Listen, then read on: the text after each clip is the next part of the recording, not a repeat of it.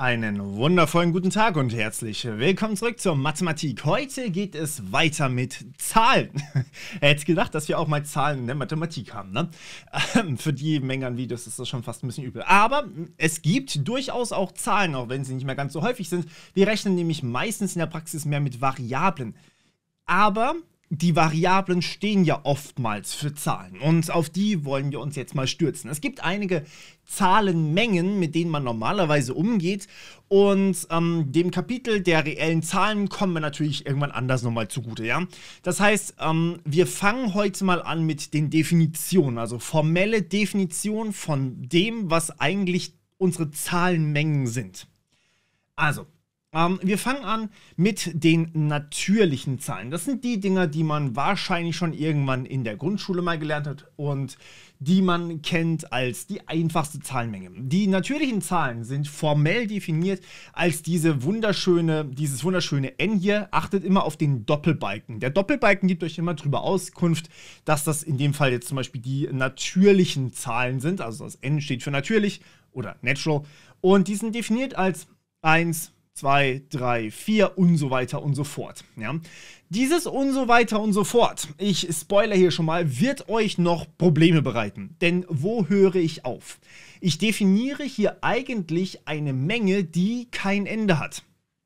Und trotzdem, ja, Unendlichkeit ist, ist ein Riesenthema in der Informatik bzw. in der Mathematik Unendlichkeit ist ganz, ganz schlimm. Deswegen hier einfach mit drei Punkten abgekürzt. Wir definieren uns das als fortlaufende Zahlen und damit können wir dann auch arbeiten. So, das ist also, sind die natürlichen Zahlen. Euch ist vielleicht aufgefallen, dass da was fehlt. Nämlich hier vorne, die 0 ist nicht dabei. Und das hat einen Grund, denn manchmal möchte man die 0 drin haben, manchmal möchte man sie nicht drin haben. Normalerweise ist in den normalen natürlichen Zahlen, also in dieser n-Definition, keine 0 dabei. Wenn ihr eine 0 dabei haben wollt, geht das aber auch. Das wäre dann N0. Das sind im Endeffekt die, äh, die natürlichen Zahlen vereinigt mit 0. Demnach, ähm, ihr fangt halt bei 0 an zu zählen, dann 1, 2, 3, 4 und so weiter und so fort. Klar. Okay, das sind jetzt unsere natürlichen Zahlen. Das sind die natürlichen Zahlen mit 0, weil man die gelegentlich mal braucht. Dann gibt es aber auch noch die andere Richtung. Wir können ja auch ins Negative gehen. Und das sind ganz einfach die negativen natürlichen Zahlen. Die werden auch manchmal definiert, hier einfach der Vollständigkeit enthalten. Nämlich die minus 1, die minus 2, minus 3, minus 4. Achtet auch hier wieder darauf, minus 0 ist nicht dabei. Ihr könnt natürlich eine vereinigte Menge aus, der, aus den negativen natürlichen Zahlen, also minus n, und der Null bilden. Das geht selbstverständlich, aber braucht man selten, deswegen hier eigentlich nicht dabei. So, das sind erstmal die Grundlagenzahlen. Ja, mit denen kann ich jetzt arbeiten. Und das sind auch schon sehr, sehr viele Zahlen, weil, wie gesagt, nach oben hin ist da ja eigentlich keine Grenze gesetzt. Jetzt kann ich mir aus meinen natürlichen Zahlen erstmal vereinfachend noch etwas anderes definieren, ähm, was euch übrigens auch Probleme machen könnte, denn ja, das sind die ganzen Zahlen. Speziell be bei Beweisen wird das Ganze irgendwann dann unübersichtlich bzw. problematisch mit ganzen Zahlen. Ähm, der Grund dafür liegt einfach in der Definition. Wir haben hier die natürlichen Zahlen vereinigt mit der Menge, die die 0 enthält, also die N0 im Endeffekt, vereinigt mit den negativen natürlichen Zahlen. So, und wo liegt jetzt das Problem? Das ist doch eigentlich total einfach, ne? Also ich meine, minus 1, minus 2, minus 3 und so weiter und halt 0, 1, 2, 3, 4, 5 und so weiter. Ja, aber das Problem ist, wir haben zwei Richtungen, in denen wir in sehr, sehr große Zahlen gehen können. Das heißt, wir können beispielsweise 128.000 Millionen drin haben, wir können aber auch minus 128.000 Millionen drin haben. Und wir wissen nicht, wo wir aufhören. Und bei Beweisen müsst ihr meistens dann in beide Richtungen gehen. Das heißt, ihr müsst ins Minus sehr, sehr große gehen und ins Plus sehr, sehr große. Und äh, ich wirf jetzt hier absichtlich nicht mit unendlich um mich, weil schwieriges Thema. so, ähm, dementsprechend, ganze Zahlen sind nochmal einfach ein bisschen mächtiger als die rein natürlichen Zahlen, werden aber direkt aus den natürlichen Zahlen definiert. Wir hätten es auch hier anders hinschreiben können. Wir hätten auch hier eine alternative Schreibweise nehmen können mit Punkt, Punkt, Punkt minus 4, minus 3, minus 2, minus 1, 0, 1, 2, 3, 4, Punkt, Punkt, Punkt. Das würde auch funktionieren. Ähm, aber das hier ist die deutlich kompaktere Schreibweise. Ihr könnt das ja einfach mal für euch ausprobieren, ob ihr das irgendwie anders schreiben könnt. Ihr könnt übrigens auch N0 hier oben noch ein bisschen umformulieren. Okay, Jetzt kann ich aus den ganzen Zahlen und den natürlichen Zahlen noch eine weitere Menge bauen.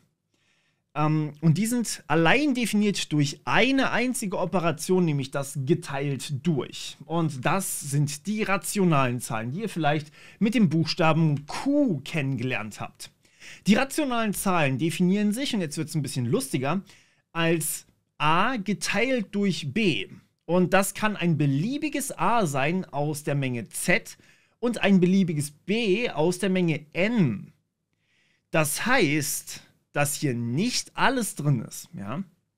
Ähm, ihr könnt ja mal in die Kommentare zum Beispiel schon mal jetzt direkt ein Beispiel schreiben für eine Zahl, die euch einfällt, die nicht in den rationalen Zahlen drin ist. Ähm, und genau, das Ding ist jetzt nämlich, wir haben hier erlaubt im äh, Zähler, haben wir eigentlich fast alles. Ja? Also alle ganzen Zahlen. Äh, das bedeutet, wir können hier 0 reinschreiben, das wäre dann das hier. Wir können äh, minus 1 reinschreiben, wir können sehr, sehr große negative Zahlen, sehr, sehr große positive Zahlen und eben auch 0 reinschreiben. Das hier ist, das A ist relativ frei wählbar. Das B ist nicht so frei wählbar. Ähm, wir können hier zum Beispiel keine negativen Zahlen für B reinschreiben, weil wir sagen hier, B ist Element der natürlichen Zahlen. Das bedeutet, B ist aus 1, 2, 3, 4, 5, 6, 7, 8 und so weiter und so fort. Also natürliche Zahlen bedeutet keine negativen Zahlen im, Zäh äh, im Nenner erlaubt und ähm, keine, äh, keine Null erlaubt. Logischerweise, weil wenn ich durch Null teile, explodiert das ganze Universum. Ähm, das heißt, wir dürfen hier nur begrenzt Zahlen reinschreiben. Und ähm, die Mathematiker haben sich irgendwie zum Volkssport gemacht, immer die Sachen zu untersuchen, die man nicht machen darf. Ja? Immer quasi Grenzen austesten. Das ist ganz, ganz furchtbar. Das heißt, besonders interessant ist am Ende der Fall, wenn ich durch Null teilen könnte. Ja? Ähm, oder wenn ich halt in Richtung der Null gehe in meinem, äh, ja, in, in, meiner, in meinem B. Das heißt, ähm, das ist das, was am Ende sehr, sehr interessant ist, auch wenn ich es nicht darf. Aber in die Richtung dazu zu gehen, wie weit kann ich gehen? So, ähm, das wird euch noch lange um die Ohren fliegen. Dann haben wir aber noch eine letzte Gruppe an Zahlen. Jetzt löse ich auch die kurze Aufgabe auf, die wir gerade uns schon kurz angeguckt haben, nämlich die reellen Zahlen. Und an der Stelle, ich habe keine Definition der reellen Zahlen für euch heute dabei. Die machen wir separat. Denn reelle Zahlen können sehr, sehr komplex werden. Reelle Zahlen beinhalten nämlich alle Dezimalzahlen. Und jetzt einmal ganz kurz drüber nachgedacht, was bedeutet das für uns? Naja, alle Dezimalzahlen bedeutet alles, was einen Punkt in der Mitte hat. Ich kann ein Halb darstellen als 0,5. Das ist auch in den reellen Zahlen dabei. Ich kann minus 2 selbstverständlich auch als sogar ganze Zahl darstellen oder sogar als minus n. Ist aber auch in den reellen Zahlen dabei. Das heißt, die ganzen Zahlen, die rationalen Zahlen, die natürlichen Zahlen, alle drei davon übrigens, sind natürlich in den reellen Zahlen dabei. Das ist gar kein Thema. Aber das Problem sind die Zahlen, die ich nicht durch die anderen, also vor allem nicht durch Q darstellen kann. Denn es gibt Zahlen, die kann ich nicht durch Q darstellen, die aber in den reellen Zahlen drin sind. Und das wäre zum Beispiel Pi. Ihr wisst vielleicht, dass Pi eine Zahl ist, die unendlich Nachkommastellen hat. Das heißt, ich kann das Ding so lange berechnen, wie ich möchte. Es hört niemals auf. Dementsprechend kann ich das nicht ohne Probleme oder gar nicht eigentlich darstellen als rationale Zahl, ähm, denn ich müsste ja hier für b unendlich große Werte wählen. Ja, ich kann immer sagen, irgendwie 1 durch 10 ist 0,1, 1 durch 100 ist 0,01 und kann damit sehr, sehr groß werden für meine b's. Aber naja, es gibt halt auch einfach Zahlen, die sind unendlich groß, die haben unendlich Nachkommastellen. Das ist zum Beispiel Pi. Und dementsprechend ist hier eine Definition gar nicht so ohne. Für den Moment nehmen wir jetzt einfach mal nur an, dass wir alle Dezimalzahlen dabei haben. Das heißt, sie dürfen positiv sein, sie dürfen negativ sein, sie dürfen selbstverständlich auch die Null sein. Dann haben sie einen Punkt, falls sie eben ähm, keine ganze Zahl sind. Dann haben sie einen Punkt und danach kann kommen, was möchte. Also so lang, wie es möchte und so viel, wie es möchte. Und Zahlen völlig frei, gewählt. Das heißt, wir können hier 0, 0, 0, 0, 0 haben und dann eine 1 irgendwann. Oder wir können halt wirklich einfach 1,5 oder sowas da stehen haben. Das geht alles und das macht die reellen Zahlen so krass. Ähm, ja, ich weiß, das war jetzt relativ ähm, leicht, dieses Video, aber es ist einfach eine Grundlage für weitere Videos. Und es ist ganz, ganz wichtig, dass ihr euch diese vier oder ähm, in dem Fall sechs Zahlenmengen euch gut merken könnt ähm, und sie vor allem auch unterscheiden könnt. Das ist Grundlage für alles, was jetzt kommt. Gut, nächstes Mal machen wir weiter. Bis dann. Ciao.